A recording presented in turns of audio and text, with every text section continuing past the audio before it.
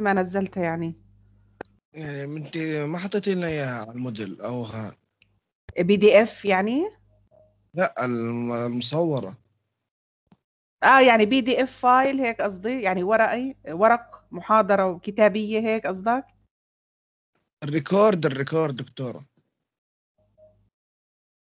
طب إيش الفرق معاكم يعني لو كانت على المودل ولا على المايكروسوفت؟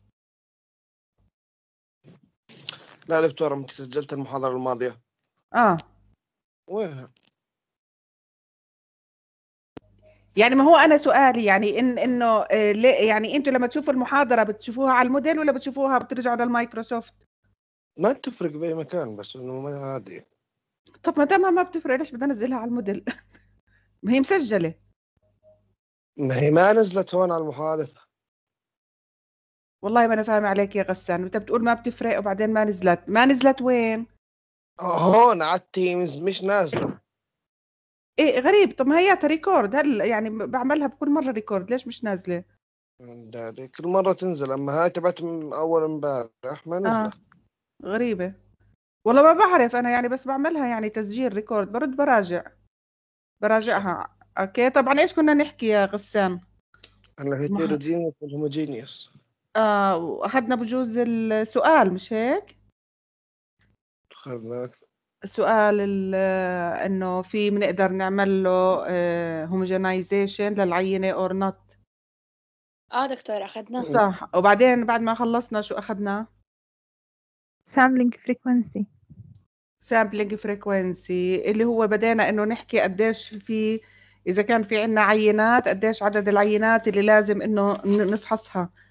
في اللي هي لوين وصلنا وصلنا آه، أو أخذنا خلينا نحكي لعند ال electric conductivity وال alkalinity ال alkalinity اللي حكينا عنها هي عبارة عن ال total water hardness صح مزبوط ولا لا. صح صحيح طيب.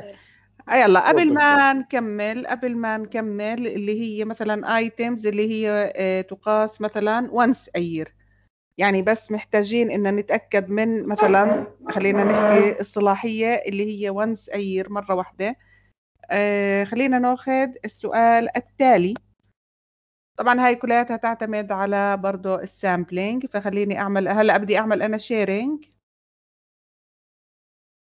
هاي share لل Paint okay؟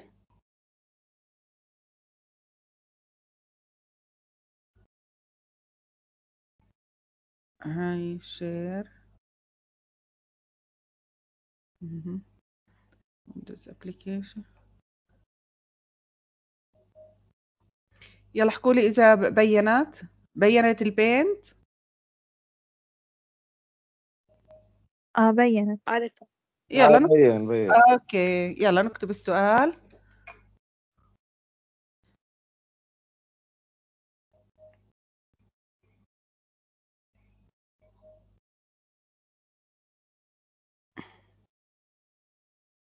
أوكي لو حكينا السؤال التالي.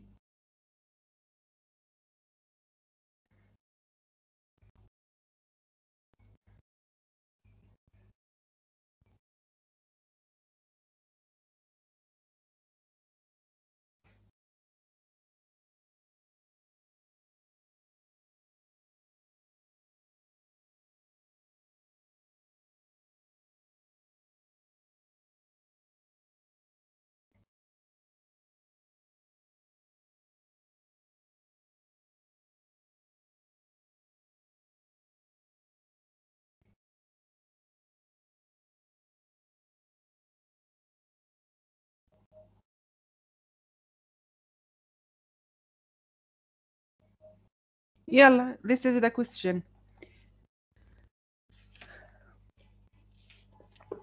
هذا هو السؤال is glass طبعا آه، glass يعني اللي هي الكونتينرز اللي بنخزن فيها العينة would be suitable آه، container for all samples if yes why if no why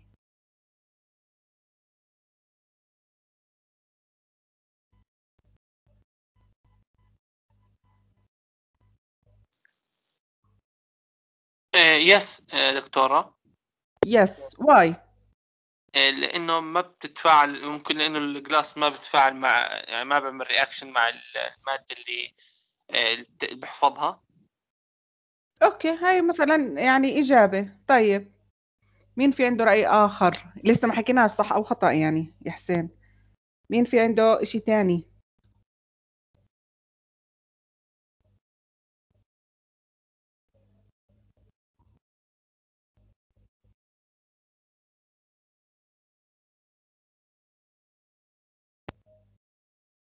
يعني.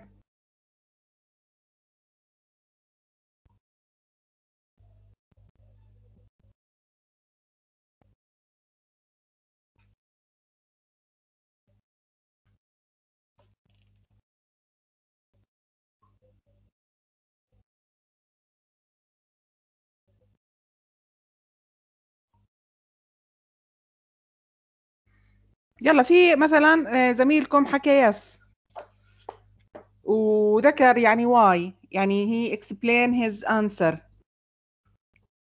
Explained his answer. طيب مين بيحكي غير هيك؟ why كمان. يعني مش شرط اللي حكاه حسين صحيح على فكرة.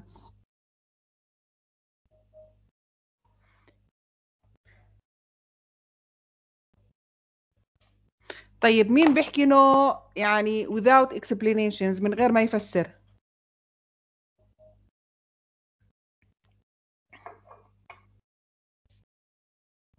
مين عنده إحساس إنه مثلا لا مش لكل ال samples ممكن أستخدم أنا ال glass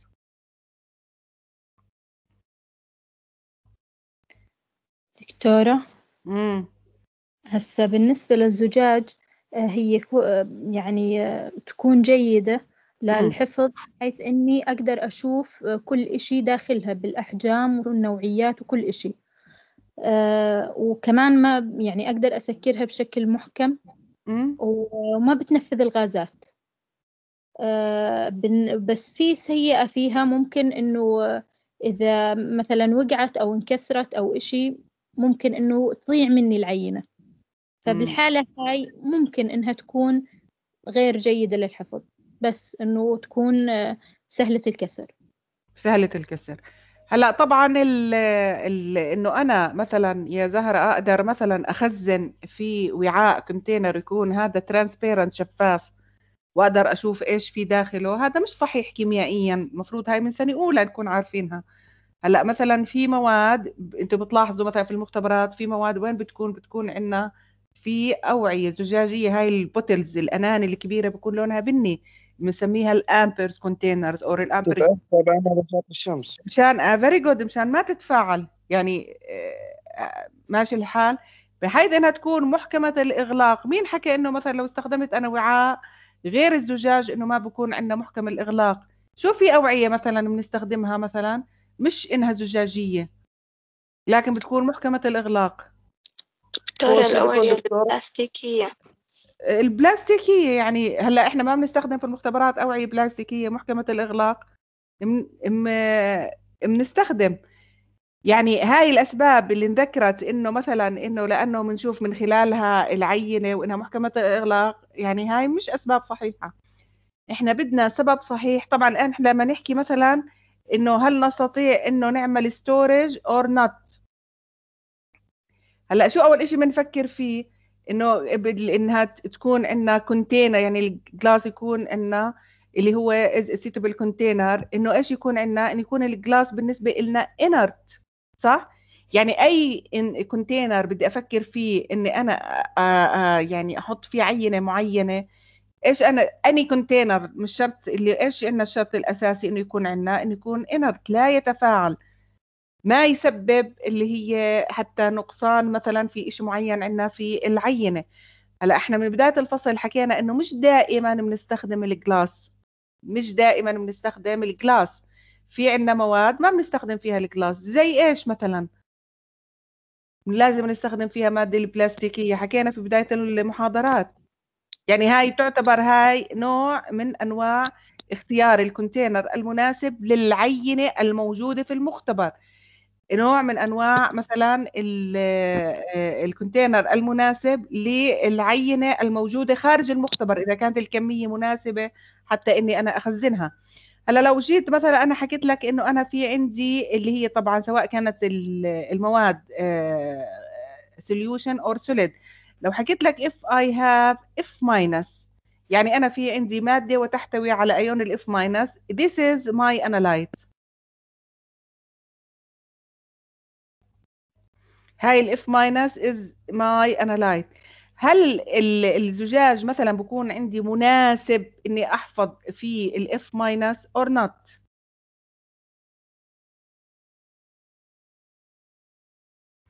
يلا نشوف.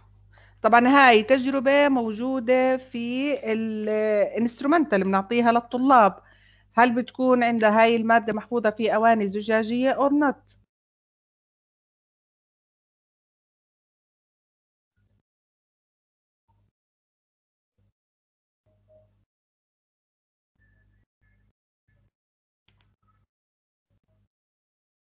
يلا.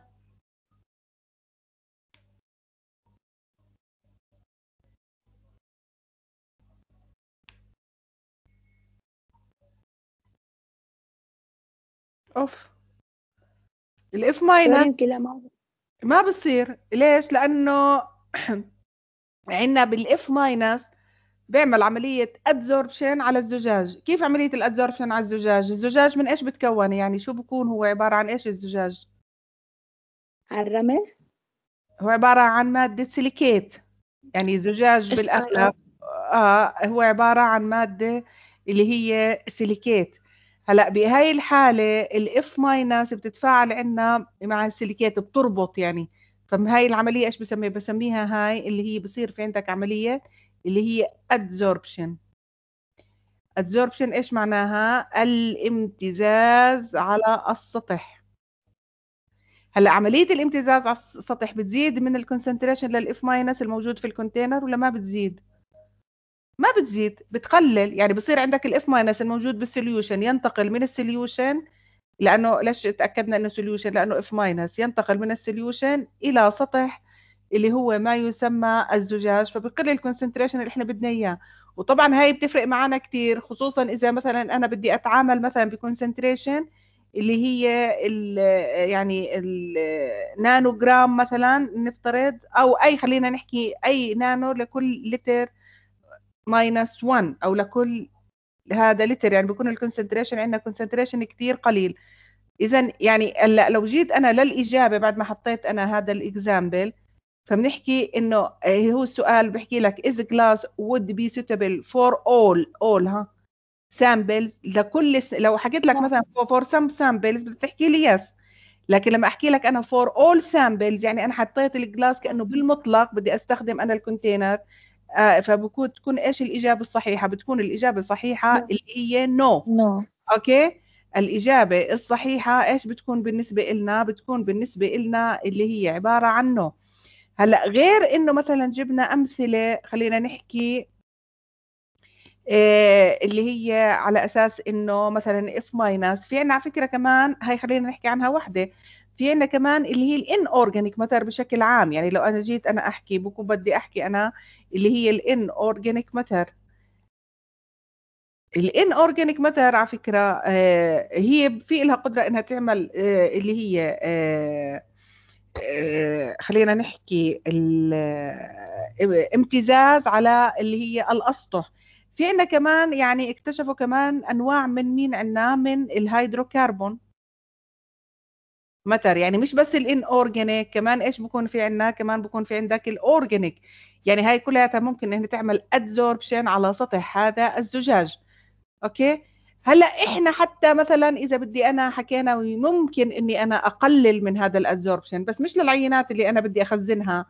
يعني for storage لمدة طويلة. لأ لعينات مثلا بدي مثلا أحضرها أحللها يا اليوم يا بدي أحللها بكرة. فشو بعمل أنا؟ باخذ هذا الوعاء الزجاجي يعني بغض النظر شو كان هذا الوعاء الزجاجي كبير ولا صغير. وشو بحط حكينا فيه؟ بنقعه طول الليل ب HNO3 اللي هو ب nitric acid. هلأ ال nitric acid إيش بيعمل؟ بيعمل desorption. يعني بدل ما تكون عندي الخاصية adsorption بس هاي عم اللي هي ال desorption ما بتكون عندنا forever لا بس لا اللي هي العينه اللي أنا حط حطيتها فيها. يعني مثلا بعملها مثلا اللي هي نقع طول الليل وبعدين بغسلها ب tap water وبعملها rinsing بي اللي هي distilled water وبحط فيها العينه اللي أنا بدي إياها. لكن بس مش لمدة هذا طو- طويلة. بحط فيها العينة مثلا بحطها في الثلاجه خلينا نحكي افتراض. وبعد ما بحطها في الثلاجه مثلا بعين بحللها بنفس اليوم okay؟ يعني هاي حتى أتخلص مش من مشكلة اللي هي الان ال adsorption of inorganic matter لكن not for long time not for long period. يعني إحنا بنحكي هنا السؤال إنه لما آجي أنا أعمل storage for long period okay؟ أما بقول لك أنا إذا أنا بدي أعمل storage for يعني اللي هي short period يعني فترة قصيرة وبعدين أحلل اني ممكن أتخلص من هاي المشكلة باستخدام ال HNO3 الهيدروكربون مين بيعرف كيف ممكن أتخلص من مشكلة ال adsorption إني ممكن أغسله باللي هو ما يسمى cleaning solution. okay؟ اللي هي for the organic matter لكن for اللي هي اللي لو حكينا إنه long time لازم إذا كان في أي نوع من أنواع ال adsorption أو أي نوع من أنواع التفاعل هاي إيش بنحكي عنها؟ بنحكي إنه لازم أنا أستخدم another type of container. شو ال another type of container بس خليني أحط إنه هذا for short time short period time.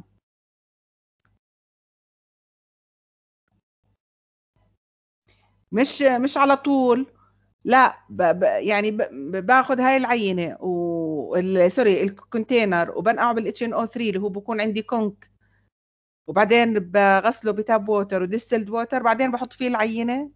يا بحللها بنفس اليوم يا بحللها ثاني يوم. فمشان هيك بنحكي إنها مش هاي الطريقة مش مناسبة لل storage. يعني إذا أنا ل for long time إذا بدي أجيب أنا عينة كبيرة وبدي بدي أحللها على أو بدي أخزنها مثلا ما ما بستخدم هاي الطريقة. شو مثلا النوع الآخر البديل لل glass اللي ما مش يعني إنه ممكن إنه ما يتفاعل؟ البلاستيك. البلاستيك. هلا إحنا ما بنحكي اللي هو البلاستيك بنحكي اللي هو ال polyethylene okay؟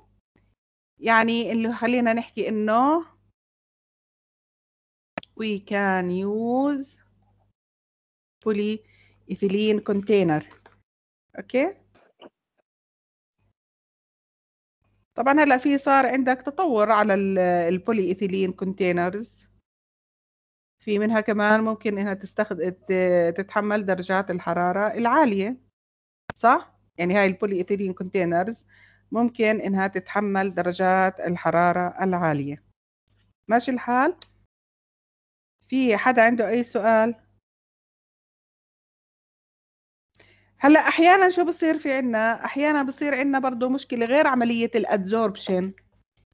إيه هلأ بدنا نرجع للزجاج. طبعا هاي اللي هلأ إحنا جاوبنا. الإشي الثاني اللي ما بقدر أستخدم فيه الزجاج. يعني ليش بقدرش أستخدم الز- الزجاج؟ الزجاج اللي هي ال glass خلينا نحط. في له أحيانا خاصية هاي الخاصية إيش بنحكي عنها؟ بنحكي عنها leaching okay؟ في له خاصية هاي الخاصية إيش بنحكي عنها؟ بنحكي عنها it is leaching. leaching يعني إنها الإشي الملتصق فيه على الس- السطح إيش بيعمل؟ آه، بيطلع لنا إياه. يعني كأنه كأنه بنحكي إحنا desorption. okay؟ بنحكي عنها اللي هي desorption.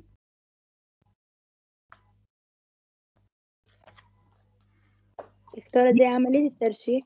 آه يعني إنه إخراج خلينا نحكي أو يعني خلينا نجيب إنه هذه this is اللي هو our container لو حكينا إنه بهذا الشكل. طبعا هو لما بيبدأ يعمل عملية ال leaching ما بيبدأ يعملها هيك هيك لحاله لا لازم يكون عندنا معبأ ب آه، مادة معينة. شو بصير؟ بصير عندنا يط- يطلع اللي هي ال ions اللي هي بتكون عادة بتكون عندك مثل ions ال ions اللي بتكون ملتصقة على سطحه. okay؟ مثلا زي مثلا ممكن حتى يطلع من الايونات اللي هو آه، مصنع منها زي مثلا السيليكون ممكن يطلع مثلا ال Na ممكن يطلع اللي هو عبارة عن ال K okay؟ آه، اللي هو البوتاسيوم. يعني أي نوع من أنواع الايونات ممكن إنه يعملها عملية عندنا leaching ممكن كمان يطلع ال B وين راحت؟ okay؟ ال B على فكرة هذا برضه من بنعمل له ت- لما نقعد نحلل فيه شو ال B أصلا؟ اي عنصر هذا ال B. البورون. بورون أيوه. على فكرة ما بنحلله هذا بأوعية عندنا زجاجية أو بنخزنه بأوعية زجاجيه زجاجية. دائما بتكون عندك بوليوثيلين برضه ممكن يعمل عملية leaching okay؟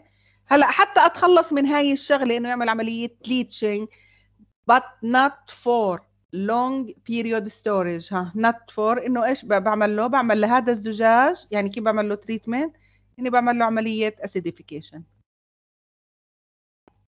okay بعمل لهذا الزجاج عملية acidification. يعني مش شرط دائما يكون في عندك عملية adsorption ممكن يكون عملية desorption. يعني ال leaching اللي هي desorption. يعني اللي إيش اللي بيكون موجود على السطح أو الملتصق على سطحه. طبعا هو لما نحكي ملتصق مش التصاق في بيكون عندك اللي هو ملتصق بيكون عندك هاي الأيونات تكون رابطة ب functional group اللي هي المكونة لهذا الزجاج.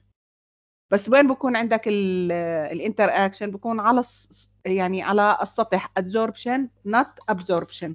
في حدا عنده أي سؤال؟ في حدا عنده أي سؤال؟ دكتورة. آه. هسه الايبوكسي هاي نفسها البوليثيلين آه، نوع من أنواع ال polymers. آه يعني هي المكونات الأساسية. يعني شوف شو هي ال- اللي هي بنسميها الوحدة الأساسية المكونة لل- للإيبوكسي. إيش هي؟ polymer. okay polymers. يلا. هلأ بنيجي ل اللي هي بدي في حدا عنده أي سؤال؟ قبل ما نيجي حدا عنده أي سؤال عليها؟ طيب هلأ بدي نشوف نعمل stop لل sharing ونعمل sharing for اللي هو خلينا نشوف where is وتحكوا لي مبين ولا لا؟ بين عندكم؟ آه دكتور بين table. هذا بين ال table. آه very good هلا هذا ال table آه اللي هو أو خليني أحكي. استنوا شوي. خليني إذا بدي أكتب. آه أن أنقله لل Word. استنوا بس شوي بالله لو سمحتوا. okay أرد أعمل sharing إذا بدنا نكتب إشي.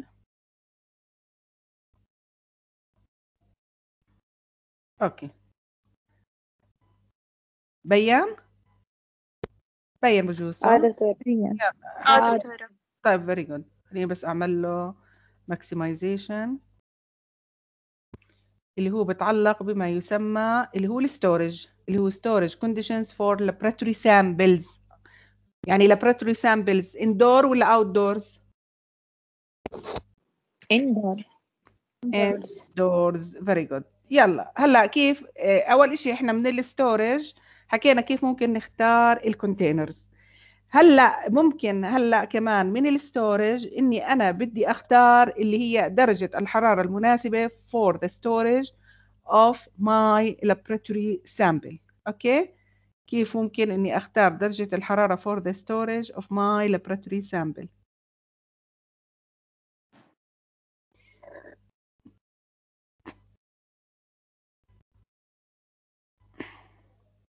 يلا نشوف الأول الأولى.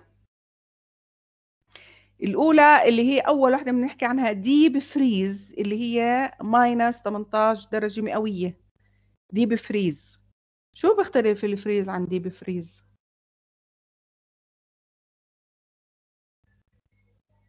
على فكرة هاي كمان بتكون موجودة عندنا. مثلا ال ال الفريزر اللي بكون عادة مش مثلا إحنا في بنشتري هات الثلاجة هال fridge ال freezer اللي بكون مرافق لهاي الثلاجة بنحكي عنه freeze عادي يعني بانه بكون عندنا بجمد لدرجة حرارة معينة. هلأ في اللي هو الف- الفريزر المنفصل. يعني في عالم بتشتري مثلا مع الثلاجة برضه فريزر لحاله من غير ما يكون مثلا متصل مع أي شيء بنسميه deep freeze. يعني درجة التجمد تبعته بتكون عندنا آه يعني قليلة آه يعني قليلة إيش؟ يعني بال for the اللي هي negative direction أكثر من مين؟ أكثر من اللي هي الفريزر العادي. فشو بنحكي؟ إحنا بنحكي اللي هو ما يسمى deep freeze اللي هي minus 18 هلأ شو درجة الحرارة المناسبة للتخزين؟ إذا كانت عندنا عينات اللي هي التالية. يلا.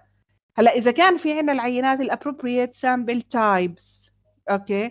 اللي هي sample with هاي اللي هي enzymatic activity يعني بتكون عندنا عينات إلها الأنزيمات بتكون نشطة بتضلها يعني هاي يعني عينات حيوية خلينا نحكي عنها.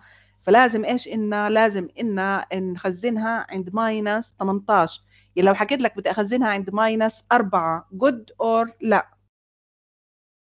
لا. لا.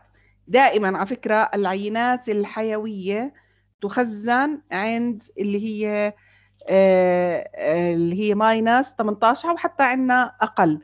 طيب هاي ال minus 70 اللي بنسمع عنها في فريزر مثلا عادي بيعمل minus 70 لا دكتورة تكون؟ ثلاجات. طب شو هي الثلاجات هاي اللي بتعمل minus 70 تقول إيه، الغاز التبريد بها يختلف. إيش هو؟ غاز التبريد بها يختلف.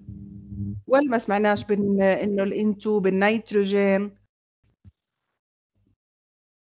و dry ice ما سمعتوا بال dry ice شو dry ice يلا. هلا ثلج ناشف واحد واحد. يلا شو هو ال dry ice اللي بعطيك درجات حرارة اللي هي بتوصل إلى اللي هي سبعين minus سبعين درجة مئوية.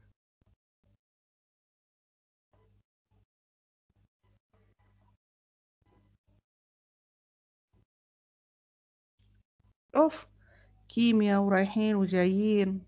دكتورة ممكن ثلاجات الموتى؟ و... الله يسامحك على هالاكزامبل مين اللي حكى؟ انت تكلم أنا أنا. على الصبح. أنا نور. ونور آه، دكتورة؟ والله يا نور إنك أنت يعني مش عارف. والله يا دكتورة من كثر ما هم الموت.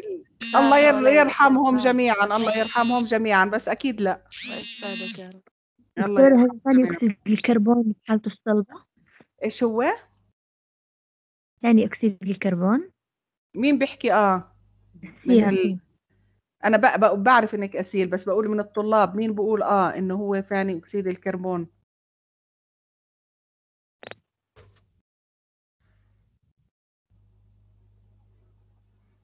هلا يلا. دكتورة هو صح ولا يعني عن جد بحكي أنا والله.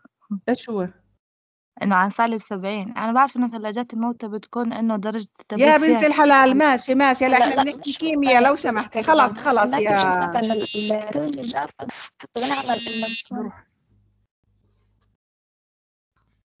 أكسيد الكربون ثاني أكسيد الكربون سالب 78 طب خليني بس أعطي المحاضرة هلأ بس أعطيني إيش؟ هيدفون بعد بشتغل عليه. دكتورة اللي يعطي تبريد وا- قليل أعرف أنا مثلا يا زي جماعة. النيتروجين. إيش هو؟ النيتروجين مثلا. في عندك الانتو لا بس أنا بسأل عن الدراي آيس. هل هو كربون مونوكسيد ولا كربون دايوكسيد ثاني أكسيد كربون الكربون دايوكسيد. 78 ثاني أكسيد الكربون صح. ثاني أكسيد طيب هلا هاي بنقدر ان نخزنها اللي هي بتكون عندنا كونتينرز يعني بتكون عندنا حاويات. اللي هي بتكون عادة على شكل oval oval اللي بتكون عندنا على شكل اللي هو بيضوي. فبكون عندنا هاي بتكون مزودة بالغاز المناسب. الغاز طبعا بتحول إلى dry ice فبتكون عندنا بنقدر نوصل ل minus عندنا 70 بتكون عندنا ثلاجات خاصة. مش نفس الثلاجات اللي إحنا بنكون عارفينها يعني أو بنشوفها. أوكي؟ بتكون عندنا اللي هي as containers كبيرة لكن بتكون درجة الحرارة بتكون فيها عندنا آه، منخفضة. أوكي، يلا. هلا خلينا نشوف اللي هو شو ممكن إني أنا مثلا أخزن. أول وحدة اللي هي آه، اللي هو بنسميهم الإنزيمات الحيوية. أوكي؟ الإنزيمات الحيوية. يعني في طالب اسمه خالد ضيف الله المؤمني. أكثر من 30 مرة ضفته. يعني كل ما أضيفه بيطلع يعني هل معقول إنه في مثلا هاي يعني هاي الشغلة؟ يعني المشكلة يعني بدخل البرنامج آه وبرد بطلعني مرة ثانية طب ليش ما بطلعش قديش ال 120 طالب اللي حاضرين؟ يعني خلاص أنا الإضافة إذا بدي أضيف وأنا حكيته 10 ما بضيف بس اليوم لأنه حكيت الخميس بديش آخذ حضور وغياب لكن آه إنه واحد يعني يدخل ويطلع يدخل بده يشتغل فيه هو بده يدخل ويطلع.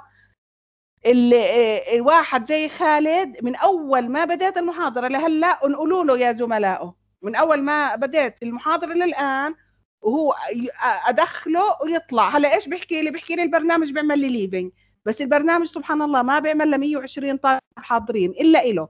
وباستمرار. هلأ خلص اللي دخل وطلع ودخل وطلع ما خلص مش معقول اضلني أنا أع- يعني أقطع المحاضرة أرد أرجع أدخل الطلاب مش يعني مش مش طبيعي الوضع. يلا خلي خلينا نكمل. يلا شو كمان مثلا ال appropriate sample types غير اللي هي بتكون عندك الأنزيمات الحيوية؟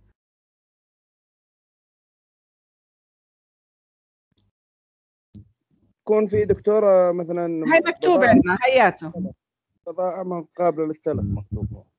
اللي هي شو البضائع القابلة لل- للتلف؟ زي إيش مثلا بضائع قابلة للتلف؟ دكتور مثلا زي. لقاح فيروس كورونا شو؟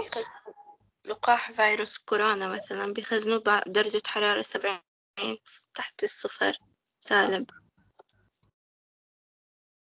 ممكن آه، المنتجات مزبوط الغذائية. اللي هي بس مش الكل مش كل اللقاحات اللي هي بيخزنوها لماينس 70 صح مزبوط آه ممكن إيش؟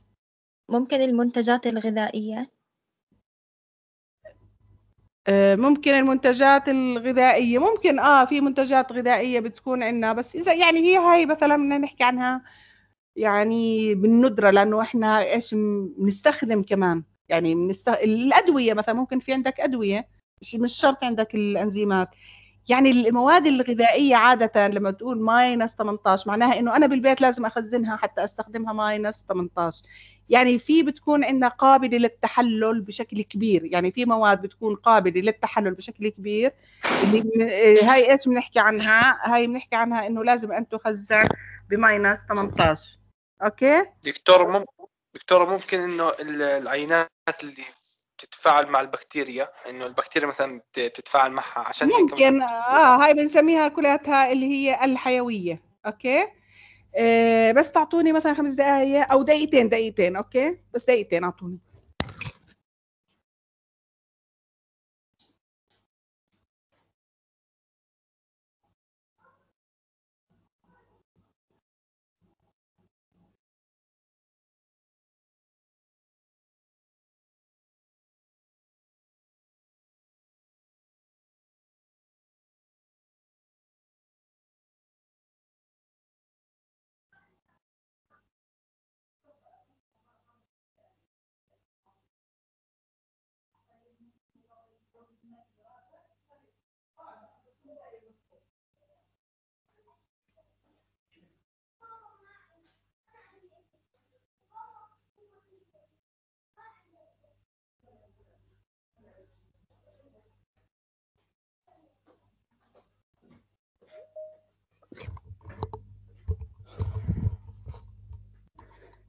أوكي.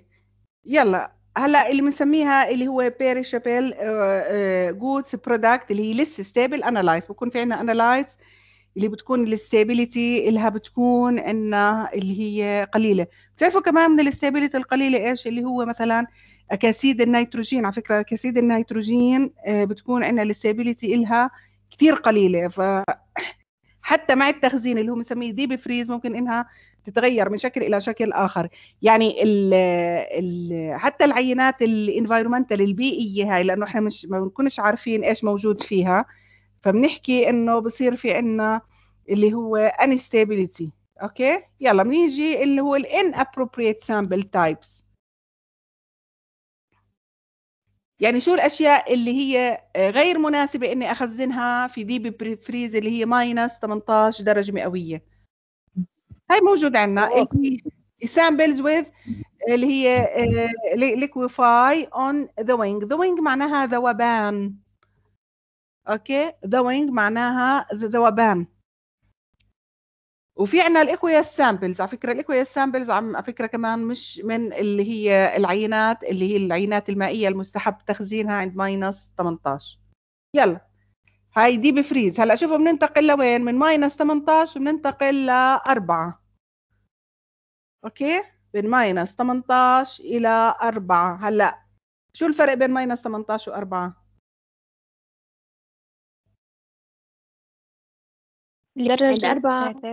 ثلاجة هون بالفريزر very good هون بنسميها ال fridge أو اللي هي re refrigerators اللي هي عبارة عن الثلاجه شو ممكن أخزن أنا بأربعة؟ ال appropriate ال soil very good ال soil ممكن اخزن أيوه very good رح أخزن اللي هو ال soil ال fresh fruit and vegetables وال aqueous sample أوكي؟ يعني حتى على فكرة اللي هي مثلا بنحكي لطلاب الماجستير بحكي لطلاب الماجستير نفترض إنه حتى العينات اللي بيحضروها آه، داخل المختبر انه إنه ما تخليها على البنش. دائما وين بدك تخزنها؟ خزنها في الثلاجه ماشي الحال؟ يلا هلأ بنيجي للي هي الان ابروبريت فيش صوت يا دكتورة. فيش صوت؟ لا في صوت دكتورة. بقول في في؟ طيب. هلا في عندي اللي هي sample with possible enzymatic uh, uh, enzymatic activity. يعني بتكون عندك اللي هي العينات الحيوية اللي لها نشاط معين. مستحيل إني أنا أخزنها بالثلاجه وين بحطها؟ بحطها في ال deep freeze أوكي يلا بنيجي هلا اللي هو ال- إذا كانت يعني درجة الحرارة room temperature بس بين قوسين in the dark شو معنات in the dark يعني مش راح أستخدم لا الفريزر ولا راح أستخدم ال fridge بدي أستخدم ال room temperature العادي بس بتكون in the dark يعني حرارة الغرفة دكتورة بس غير معرضة للشمس. بالعكس. غير يعني معرضة للشمس. زي إيش مثلا بت بتخزنوا آه ولو لو سمحت تسكر الميكروفون. يلا زي إيش اللي آه بتخزنوا مثلا؟ إشي مثلا موجود عندنا في المختبر دائما بنحكي لل- للطلاب عنه. مادة aqueous على فكرة. لا مادة aqueous تحضر.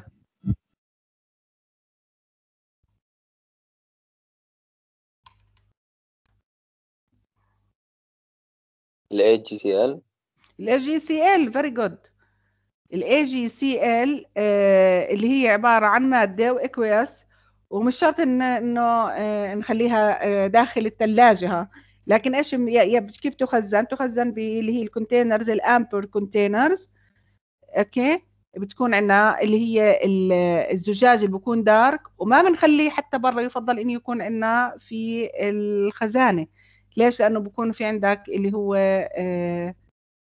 آه، تفاعل مع مين عندنا مع ال- اللي هي ال photo energy يلا نشوف هلا إحنا عندنا هلا ال samples dry powders اللي هي العينات اللي بتكون powder and dry شو الفرق بين ال dry powder والفرق بين ال soils ليش هاي بتكون ال soil بالثلاجة وال dry powder بتكون dry powder بتكون outside عشان ما بيكون بيحتوي على رطوبة إنه بيكون كتير جاف ففيش فيه رطوبة عشان إنه يتأثر. هلا. ال soil ال soil وال dry powder both are solid بس ال soil بدي أجيبها بتكون محتوية على مواد أنا مش عارفة شو هي. يعني هل بتكون مثلا ال soil اللي بدي أجيبه pure silicate وفوسفات and كربونات يعني المكونات الأساسية للتراب المكونات الأساسية للصخور؟ لا. ال dry powder مثلا نفترض افتراض زي اللي هي البودرة تبعت الأطفال. البودرة تبعت الأطفال ممكن إني أنا طبعا كل شيء إحنا بنعمل له عملية تحليل. أي شيء يصنع ويستخدم من قبل الإنسان بنعمل له عملية analysis okay؟ اللي هي حكينا دائرة المواصفات والمقاييس في إلها مختبرات. ففي مختبرات quality control for ال food في عندك quality control for اللي هو آه، ال- wood مثلا الخشب ال quality control for drugs يعني في كل آه، آه، عينات أو في for vegetables إلى آخره بتكون في عندك اللي هي مختبرات quality control لعمليات فحص معينة. يعني ما بشيء بيجي وبوصلنا من غير ما يكونوا ماخذين عينات عشوائية وبكونوا فاحصينها قبل إنه نستهلكها. سواء حتى الملابس ال- اللي هي ال- الملابس حتى الأغطية هاي كلياتها إيش بدها تكون عندنا؟ بتكون بالنسبة لنا آه، اللي هي يجب إنه فحصها قبل عملية الاستخدام. آه، لعب الأطفال ب- بفحصوها قبل عملية الاستخدام. تخيل قديش في عندنا اللي هي مختبرات لعمليات فحص المواد التي يتم استهلاكها من قبل الإنسان. هلأ من ضمن الأشياء مثلا اللي هي بودرة الأطفال هل تعتبر هاي من ضمن ال dry powder عينات ال dry powder yes هاي بالنسبة لنا اللي هي ال dry اللي هي powder حتى مثلا أدوات المكياج مثلا البودره هاي اللي هي اللي هي بالنسبة لنا مثلا من إحنا بنستخدمها آه، طبعا البنات والستات إلى آخره هاي إيش بتكون بالنسبة لنا dry powder هل هاي بنخزنها بالثلاجه لا. بس شو لازم يكون عندك التخزين؟ غير عن يكون في عندك مواد كيميائية معينة لازم تكون التخزين at room temperature in the dark. طيب شو معنات ال granules minerals يلا. حبيبات المعادن. أيوه الحبيبات المعدنية برضو هاي اللي هي آه، بنخزنها برضو في ال- اللي هي room temperature العادية بخزانات معينة بنكون حاطين مثلا طبعا اللي هو labeling وفي عنا اللي هو ال stable analytes اللي هي ال analytes العادية ال chemical reagent اللي هي بتكون عندنا ثابتة. أعطوني مثلا مادة chemical reagent ثابتة at room temperature بنستخدمها باستمرار. ال NaCl NaCl يلا غير ال NaCl في شيء لسه أحسن من ال NaCl إحنا أخذنا في التحليليه ال متذكرين لما ال NaOH very unstable على فكرة.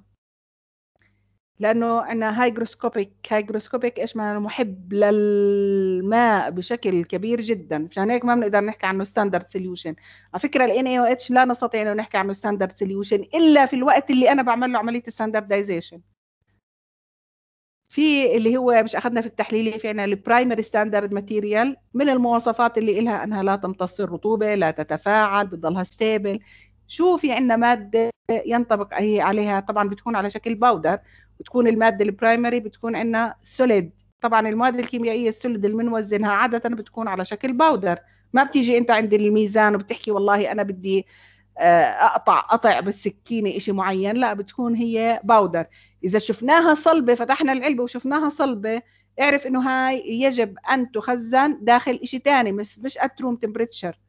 يعني مثلا زي ما حكت زميلتكم ال NaOH ال NaOH مع مرور الزمن لما تفتحه بتلاقيه زي كتلة واحدة okay؟ كتلة واحدة ليش؟ لأنه امتص الرطوبة. هلأ في أشياء كثير بنحكي أو كلنا بنشوف مثلا إنه آه، في مواد كيميائية مثلا بتكون عندنا مش analytical grade يعني مش ال- ال- درجة النقاوة فيها عالية. لما بنفتحها بنلاقي إنها صارت زي كأنها تكتلت زي الحجارة بطلت powder بنعرف إنه هاي لازم أن تخزن في مكان آخر لأنها امتصت الرطوبة. شو في عندنا ماده كيميائية استخدمناها؟ في التحليلية المختبر وكانت هي لها مواصفات عالية. بحيث إنها تكون عندنا ضلها dry powder اللي هي الصوديوم كربونات صوديوم كربونات يعني قد ما رحنا عليها وجينا وهاي بتضلها إنه as powder okay؟ طبعا لما يحكي لك in dark هل أنا حطيتها في الخزانة؟ لا ممكن أحطها على ال bench. لكن ال bottle اللي خزنتها فيها عبارة عن مادة بلاستيكية non transparent غير شفافة. بتلاحظوا المواد الكيميائية لما تيجي أنت بدك توزن على الميزان وتشوف المادة الكيميائية هل تخزن في مثلا خلينا نحكي وعاء بلاستيكي شفاف؟ لا تخزن في أوعية بلاستيكية غير شفافة. هاي إيش ما. ما بتخليها تتعرض للضوء. ماشي الحال؟ في حدا عنده أي سؤال؟ طيب آه خلينا نخلص التابل. ال inappropriate sample types في room temperature. Fresh food. يعني الأغذية الطازجة. زي مثلا أحكي لكم هل بنقدر إني أنا أ- أجيب اللحمة سمك أي نوع من أنواع اللحوم وأحطه at room temperature وأحكي إنه هذا اللي هو good storage for my sample. لا لأنه ممكن يعفن أو ممكن يعني يتلف. okay very good هل ممكن إني أجيب مثلا بندورة وأخزنها؟ شوفوا مش لحمة بندورة نفترض tomato أخزنها في ال- اللي هي at room temperature in the dark تخزين storage مش استخدام يومي for storage هل ممكن لا، أخزن... لا مش ممكن. لا، لأنه يعني مشان هيك هلا for fresh food يعني كل اللي هي الأطعمة الطازجة لا نستطيع أنه نعمل لها عملية اللي هي ما يسمى تخزين room temperature. يعني آه، بدنا نفكر هاي العينة حتى لو أنا آه، طبقت عليها جميع المواصفات شو ما كانت هل بقدر أخزنها في هاي درجة الحرارة أو not يلا نيجي هلأ لإيش بنسميه desiccator. What do you mean by desiccator تجفيف المجفف إيش هو؟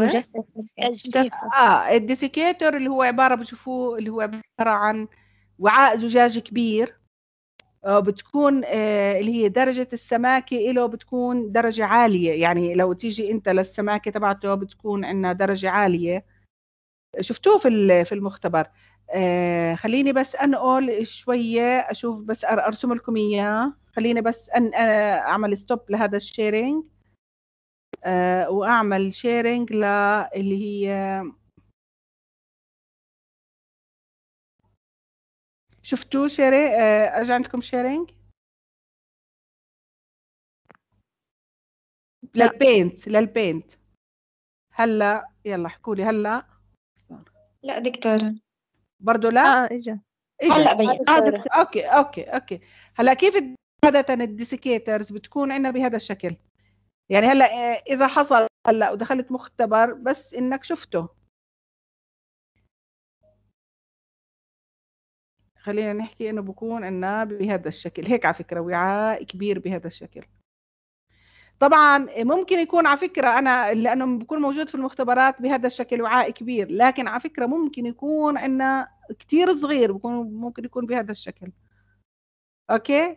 يعني بس إحنا في المختبرات اللي بنستخدمه بيكون موجود على ال benchات هيك. لكن ممكن استخدامه بهذا الشكل. هلأ عادة شو بحطوا هنا بحطوا اللي هو مادة كيميائية اللي هي ال drying agent okay؟ هون ال drying agent شو معنات ال drying agent مادة إلها قدرة على امتصاص الماء. أو ال humidity الرطوبة. طبعا الرطوبة هي عبارة عن ماء. هلأ شو بكون هنا في عندك؟ بكون في عندك هنا اللي هو عبارة عن disk. يعني بغطي هذا ال disk بغطي هاي المادة. خلينا نحطه بلون مثلا أحمر. هذا بكون في له مش إنه بكون قطعة واحدة لأ بكون في pores يعني مخ- مخرم. okay؟ يعني بصير في عندك هذا القرص اللي هو المخرم إيش عندنا؟ بيجي فوق إيش؟ بيجي فوق المادة هاي ال drying agent وبنجيب إحنا المادة خلينا نحكي اللي هي اللي بدنا نحطها. بتكون طبعا في container هاي المادة.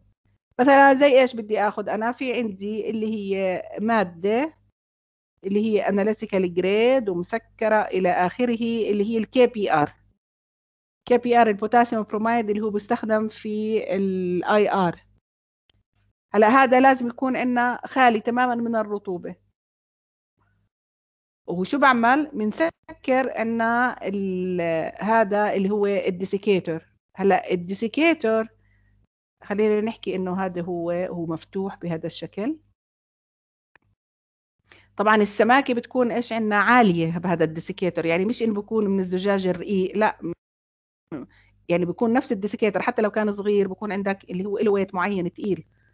هلا شو بنعمل إحنا؟ بدي أجيب هلا اللون هذا آه، بنحط على اطرافه بنحط اللي هو ما يسمى اللي هو grease اللي هو زي الفازلين يعني. يعني بندهن الاطراف بما يسمى فازلين.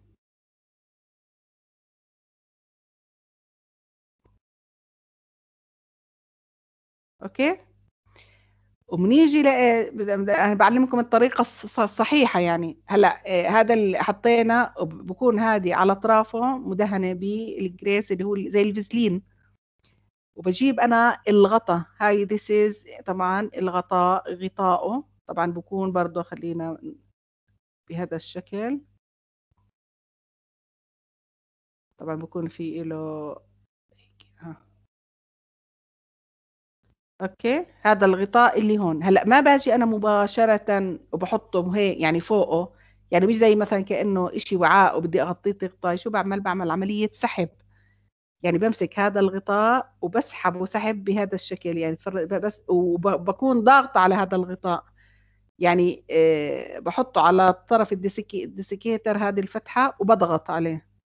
أوكي؟ وببدأ أسحبه سحب. يعني ببدأ أخليه يغطي على طريق السحب. بصير في عندك التصاق هائل ما بين هاي المادة وما بين هي الحفة الداخلية لمين؟ لهذا الغطاء. بضلني أسحبه واسحبه بهذا الشكل حتى يغطى. يعني ما ما بجيبه بحطه مباشرة فوقه لا. يعني بعمل جهد وأنا قاعدة بسحب الغطاء على هذا اللي هو آه، الديسيكيتور فبصير في عندي اللي هو بكون هي غطيته بهذا الشكل ها. بعملية سحب ها عن طريق السحب. مش مباشرة بحطه فبصير إيش عندنا هذا محكم الإغلاق. هلأ ليش بعمل هاي الشغلة؟ بكون عندي محكم الإغلاق. يعني ما لا بدخل له هواء ولا بدخل له رطوبة إلى آخره. Okay؟ هاي بكون عندك اللي هي هاي صارت ال KBr نفترض المادة شوفوا ال KBr بتكون موجودة كمان في الوعاء. بتكون هاي مادة ال KBr موجودة في الوعاء ولسه أنا بمحكم الإغلاق container لها محكم الإغلاق بكون اللون لون dark آه، مش شفاف. حتى برضه ما يصير عندنا عملية اللي هو photo reaction هلأ مع مرور الزمان بتصير هاي الحبيبات ال drying agent إيش مالها؟ تسحب الرطوبة من أي شيء أنا بحطه. يعني ممكن أنا مثلا بكون مسخنه أي شيء مسخنه مثلا soil نفترض وبدي أستخدمه. حتى ما يرد ال soil يمتص الرطوبة وين بحطه؟ بحطه في هذا ال desiccator هلأ مين اللي بده يمتص الرطوبة؟ طبعا هو محكم الإغلاق مشان ما يضل في عندي دخول للرطوبة أو الهواء داخله. بس ال drying agent يمتص إن الرطوبة الموجودة في المواد الكيميائية اللي أنا بحطها. وين؟ بحطها داخل هذا ال desiccator هلا كيف بدي أعرف إنه هذا ال drying agent خلص؟ يعني وصل ل capacity معينة يعني مش هو على طول إلى الأبد بضله يمتص في له يعني زي السفنجه بضلها تمتص تمتص الماء حتى لا خلص لا توصل السعة ال maximum capacity بتغير لونه. هلا في مواد بصير لونه نهدي آه، بنفسجي في مواد بصير على حمار في مواد مثلا بصير لونه أزرق يعني بكون أبيض حطيته أبيض. ويتحول لأنه قاعد بيمتص عندك الرطوبة يتحول إلى اللون الأزرق. في مثلا آه، مواد إيش بصير لونها؟ بصير لونها أزرق على بنفسجي يعني يتغير اللون. يعني ممكن أحطه أنا شو يكون عندك بيور اللي هو بتكون على شكل حبيبات وبتكون هاي الحبيبات عندك بيضة بيضة ما أحلاها. مع الوقت بصير تمتص الرطوبة فبصير تتحول إلى لون آخر. وبصير لها عملية swelling شو معنات عملية swelling بتنتفخ يعني بتبطل الحبيبة هي يعني نفس الحجم بتصير أكبر حجمها نتيجة لامتصاص الرطوبة يعني بتخزن الماء فيها. هلأ هل هاي الحبيبات بكبها اللي هون؟ لأ ما بكبها. بجمعها في وعاء آخر بجيب وعاء آخر وبجمعها فيه إنها تكون موجودة هنا وبحط بدالها حبيبات جديدة إنها تكون عندك اللي هي بعرف من لونها إنها جديدة ما امتصتش رطوبة. هاي إيش برد بعملها؟ برد بعملها عملية heating برد بسخنها مرة تانية. هلأ إذا سخنتها ورجع لونها إلى اللون الأصلي اللي أنا استخدمتها فيه إذا هيك بكون أنا عاملة عملية ما يسمى regeneration اللي هي إعادة استخدام مرة أخرى.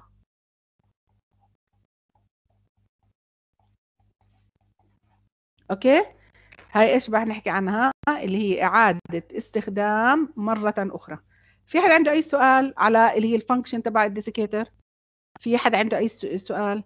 طبعا أنا بهمني إنكم تعرفوا هاي الشغلات العملية لأنه أنت لو رحت على مختبرات هلأ وتدربت أو اشتغلت في مختبرات معينة لما تشوف الشغلة أو تشوف واحد عمل شغلة قدامك ما تستغرب. Okay؟ يلا بنرجع لوين؟ خلينا بس نخلص الجدول. بدي أعمل sharing للجدول إذا ما حدا عنده أي سؤال. آه، اللي هي بتحكي عن ال desiccator اللي هي مثلا لإيش بستخدم ال desiccator بستخدمه for the اللي هي ما يسمى ال hygroscopic sample hygroscopic sample عبارة عن ال sample اللي لها قدرة على امتصاص الرطوبة. Okay؟ إلها قدرة على امتصاص الرطوبة. هلأ هاي مين الان appropriate sample types إني ما ما بحطها بال desiccator اللي هي samples which are more hygroscopic than the uh, اللي هي desiccant اللي هي uh, مواد يعني بتكون إلها uh, قدرتها على امتصاص الرطوبة تفوق قدرة ال desiccator إنه يخلصها من هذه الرطوبة. Okay؟ يعني مش كل مادة بكون في إلها خاصية امتصاص الماء أو الرطوبة بحطها بال desiccator بده يكون عندك ال desiccator لحد معين من الامتصاص فقط. هلأ في مواد بتكون عندنا more hygroscopic more hygroscopic than إني أنا أحفظها باللي هو اللي هو ال desiccator فبحطها في محل تاني آخر. Okay؟ في حدا أي سؤال؟ حدا عنده أي سؤال؟